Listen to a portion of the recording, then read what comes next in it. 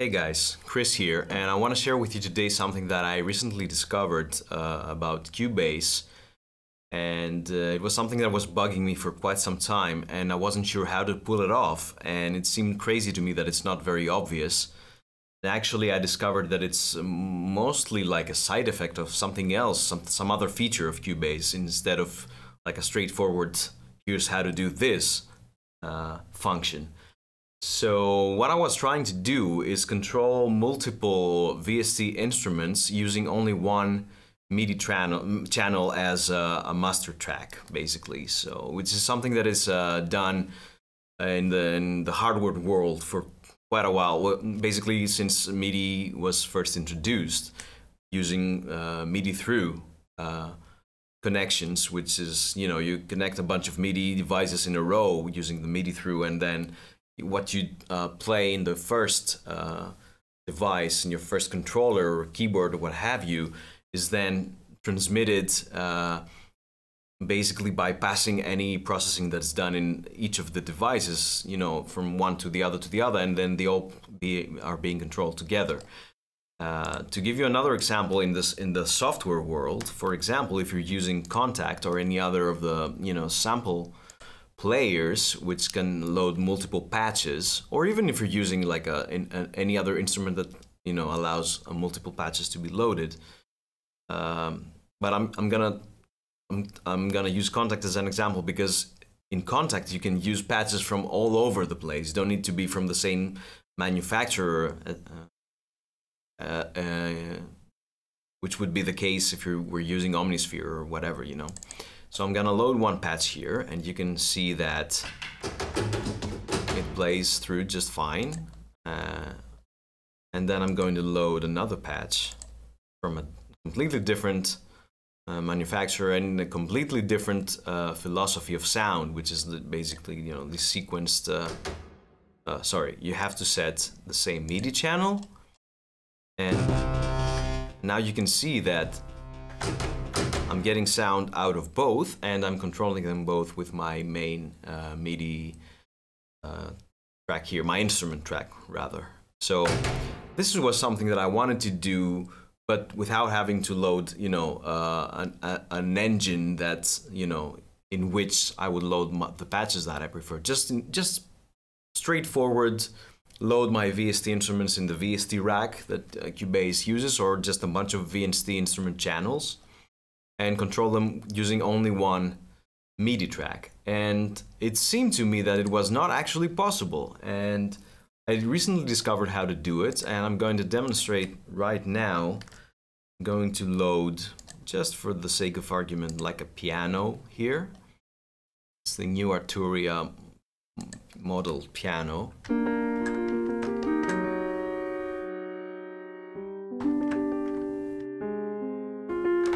This is the sound and then I'm going to load another sound which is similar. I'm gonna load an electric piano from Lounge Lizards which is my favorite uh, electric piano module and you've heard it in pretty much every of my records uh, whenever there's a, an electric piano whirly, Wurlitzer, stuff like that and it sounds like this.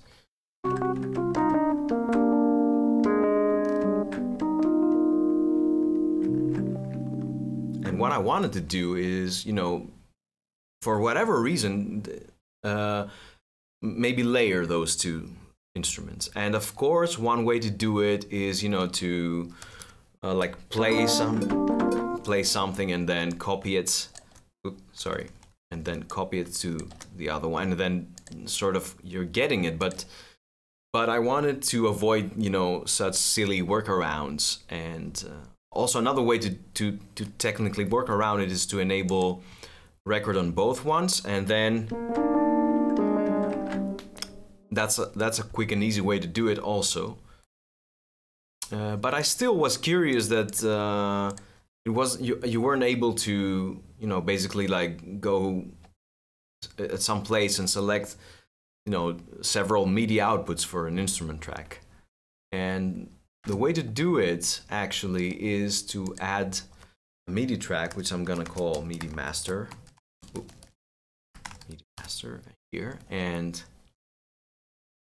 the thing with Cubase is that MIDI tracks uh, have several panels here to load, and some of them, like the modifier or you know the inserts, basically in the Sends, you can load MIDI effects. So if I click here, I can select one of those MIDI effects, and then, particularly using the Sends, I can set it to another channel. Because once I activate my send, then I can come here and select my source, my, my target. So if I you see that this MIDI echo is, is, is doing a specific effect. So, so it's sending it to uh, this. Actually, why is it playing both of them? I have no idea.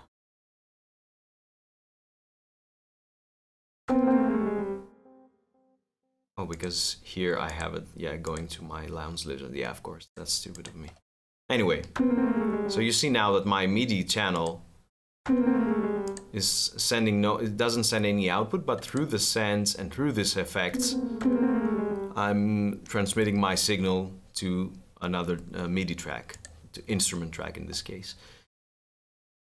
So what you want to do is instead of having this effect applied to your thing, have no effect, which is simply done by choosing no effects.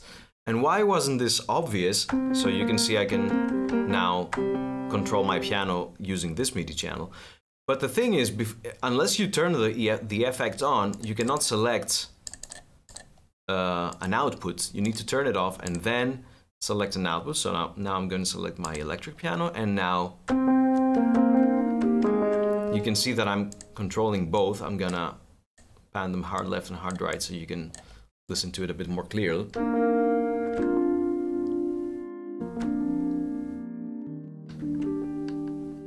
Okay, and there you have it. And it's as simple as that. The weird thing is that this MIDI Sends panel here is not actually intended for that.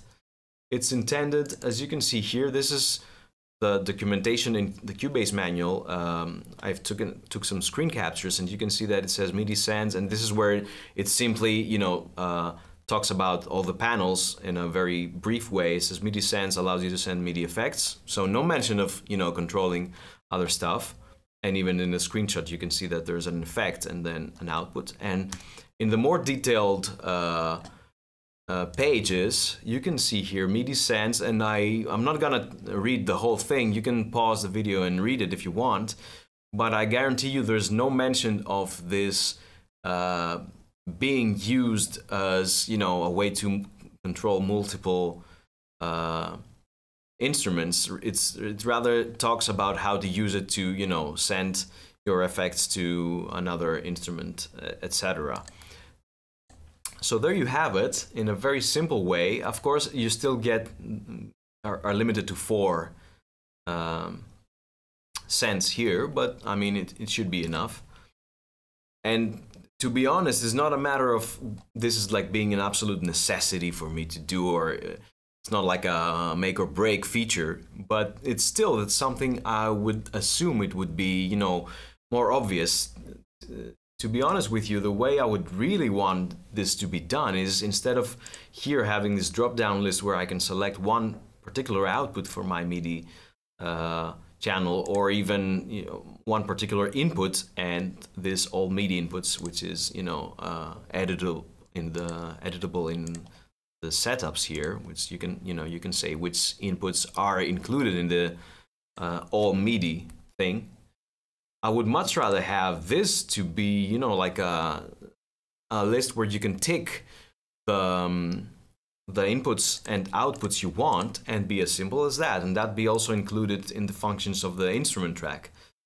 But it is not. I hope to see this feature in a future version of Cubase, but for now, if we need such a thing, we have to make do with this uh, MIDI Sends, which I mean works pretty good.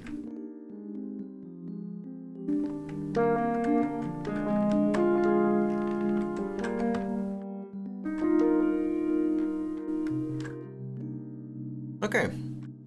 And that was it for today. Just a little simple thing that it might seem pointless, but it's just weird to me that it's not, you know, either uh, better documented or plainly obvious. Uh, So I hope this helps, and I'll see you in the next video. Bye.